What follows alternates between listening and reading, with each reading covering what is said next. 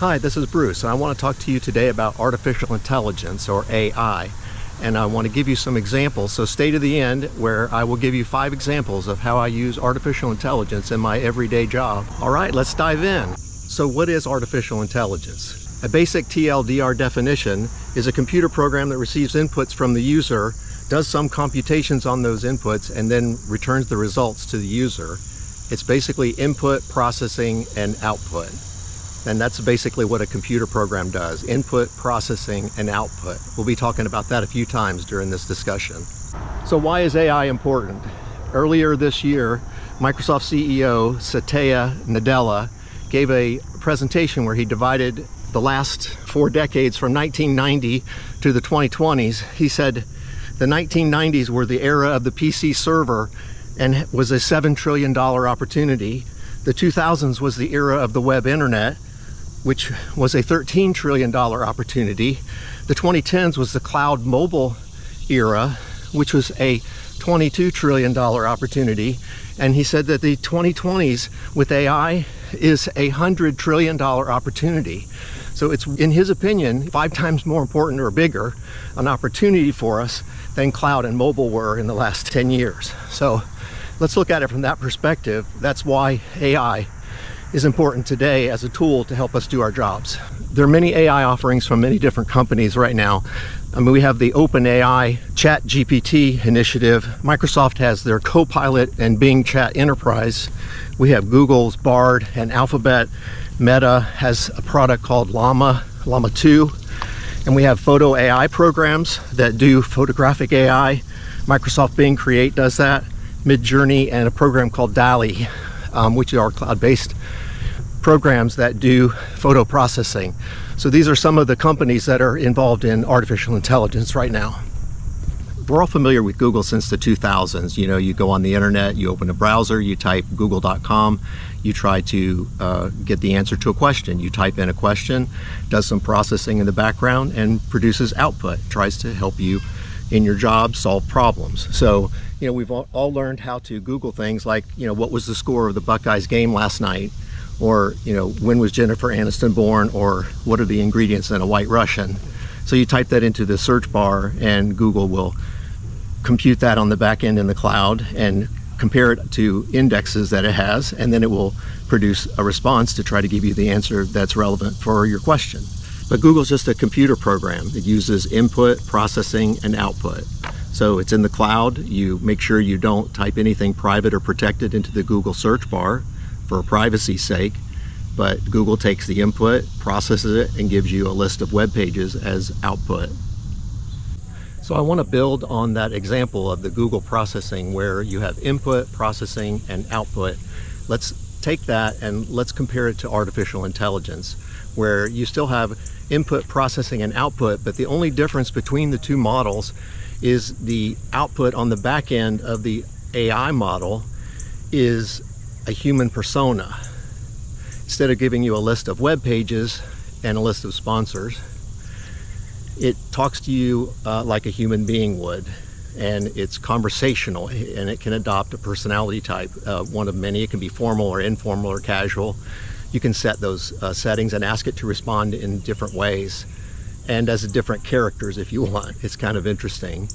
But the difference between the two, the way I see it, is you know Google is a massive search engine against uh, index, and it produces a bunch of web pages where you then have to go through each of the web pages looking for the relevant results that you're looking for. But artificial intelligence does another step beyond that, and it processes the information, and it processes it in a way that it, it's like a human being talking back to you in a conversation. So you get a result back, and then you can tailor the results. So you can follow up questions. You can say, "Oh, I like these results, but can you, you know, zoom in on an area of expertise, or can you zoom in on a, a limited area of time, or can you can you zoom in on something specific that I'm looking for?" And it will do that for you. So that's that's the basic difference between the Google model and the artificial intelligence model in, in that's we're going to be use, talking about more. So let's follow two different examples between Google and artificial intelligence. So on our first example, I'm going to be in Tokyo for four hours. Can you help me build an itinerary to see the most popular things in the shortest period of time? And Google, of course, takes the input, uh, searches its indexes, and then produces a list of web pages that it thinks that are relevant to my question and it also sends sponsored ads. So then I have to go in and out of each one of those web pages to find the things that it's talking about and it returned back 6 days in Tokyo itinerary which isn't really relevant for 4 hours and the complete travel guide to Tokyo for first timers.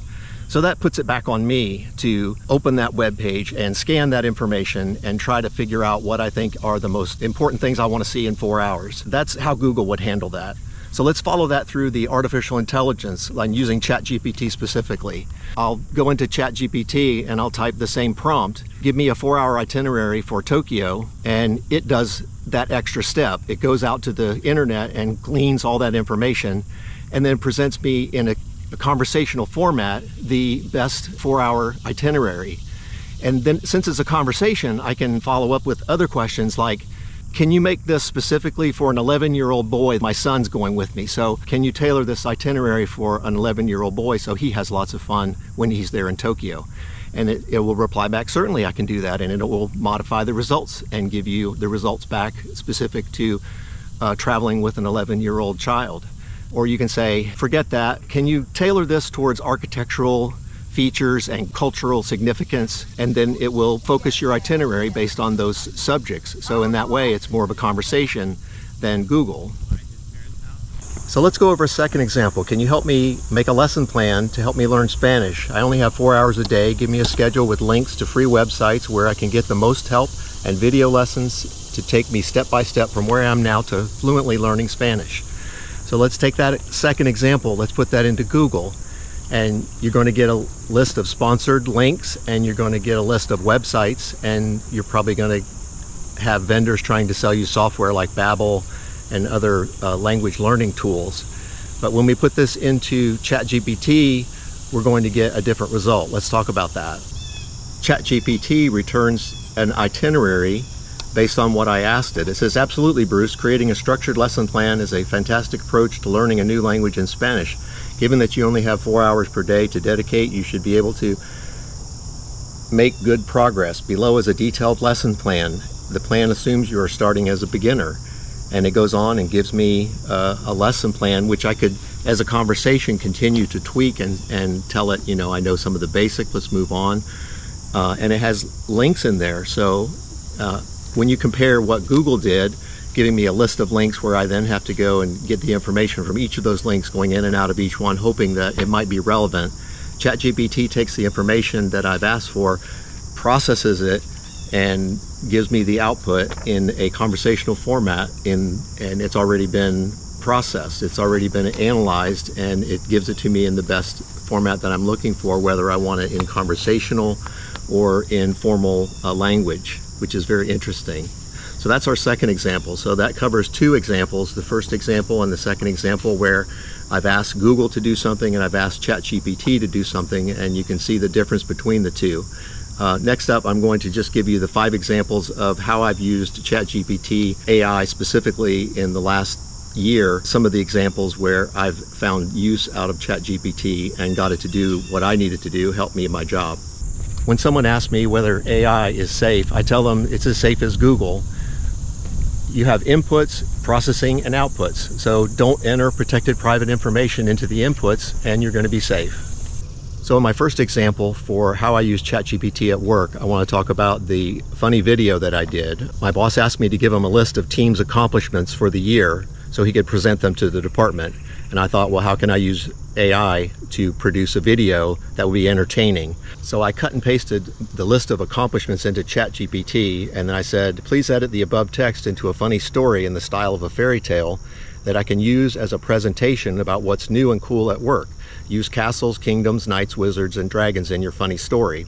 And ChatGPT, you know, replied, and then in a conversational format, the second question I asked was, can you turn this into a PowerPoint presentation and recommend photos for each slide? Which it replied with a list. The next thing I did was I logged onto Fiverr and I hired a voice actor to do Morgan Freeman's voice and to read my script. And the final thing I did was go to Bing Create and I asked it to create the photos for me. So I typed into Bing Create give me a photograph of a knight in shining armor typing on a laptop in front of a server rack in a castle or a kingdom. And it generated, strangely enough, it generated those pictures for me and I was able to use those in my presentation. So that's my first example of how I use ChatGPT at work to get a list of my team's accomplishments and turn them into a funny video. My second on-the-job example was Sunil contacted me in Teams and he said, hey, Mr. PowerShell expert, I need help with the PowerShell that I'm writing. I'm writing a PowerShell program that's calling a REST API to the Workfront website and trying to download project tasks into an Excel spreadsheet. Can you help me? So while I had Sunil on the phone, I brought up ChatGPT AI and I typed into the ChatGPT Please act like a PowerShell expert programmer and generate a computer program to access the Workfront REST API to get a list of projects and then save them to an Excel spreadsheet. So ChatGPT generated a PowerShell program to do that for me. And I brought up Sunil's program, compared it to the AI program, and I was immediately able to see that Sunil's program was using the incorrect REST API endpoint for Workfront. So ChatGPT knew that, and I shared that with Sunil, and he's like, "Oh, you're brilliant." I was like, "No, dude, this is ChatGPT's AI. Come over here, let me show you what I did." So I showed him how I used ChatGPT to generate code, and it's interesting that ChatGPT knew how to get the information from Workfront without me telling it. I just said, "Write a program against Workfront's REST API." And it did that and gave me the information which I was able to use in my job. So that's the second example of how I used AI at work. The third example of how I use ChatGPT at work, I was looking to compare laptops. So I asked ChatGPT to compare the top five laptops as far as popularity and give me output in a table format of the price and weight because I'm sensitive to the weight of laptops and give me the URL where I can do my own research. So the third way I used ChatGPT's AI was to compare different laptops to, so that I could find the best one. And my fourth example of how I use ChatGPT at work Rick contacted me through Teams and said, hey, I need a list of Active Directory users who were created in the last 18 months. So I opened the ChatGPT prompt and I asked it to write me a PowerShell program. I entered, please act like an expert PowerShell programmer and generate a computer program to get a list of Active Directory user accounts that were created in the last 18 months. So ChatGPT generated a program and I put that in my PowerShell editor and ran it and gave the output to Rick. So I use that program, and that's another way that I use ChatGPT at work. So the fifth way that I use ChatGPT at work was very specific. I was wondering if ChatGPT could even know this answer. One of my teammates asked me, what kind of cloud group do I need to create to control access to an Exchange mailbox online? So I logged into ChatGPT and I said, please act like an Office 365 expert in Exchange Online and tell me what kind of cloud group do I need to create to assign permissions and access to an Exchange Online mailbox. And it was very interesting that it came back immediately with the correct answer. It said, certainly Bruce, you would use a mail-enabled security group. Would you like to know how to set this up more in detail? And it was going to even give me the instructions on how to do it. So in this fifth example, I think ChatGPT was very helpful in finding a quick answer to one of my teammates' questions. So I hope this helps you to understand a little bit about more AI and how it can be used in everyday work. And these are just a few examples of how AI can be used. It can also provide technical advice, act as a language tutor, assist with planning, or generate creative writing. It can also be used to edit documents and summarize documents, which I found very helpful. In terms of tone, AI can reply in, in terms of formal, casual, or technical, and you just have to put that into the prompt that you wanted to reply in a casual tone. So that's my video on artificial intelligence. I hope you learned something uh, about what artificial intelligence is and how you might be able to use it in your everyday work to take your work to the next level. AI is a useful tool, a $100 trillion opportunity, and I think that we'll be using that more and more in the future as a great tool to help us take our work to the next level. Thanks for watching.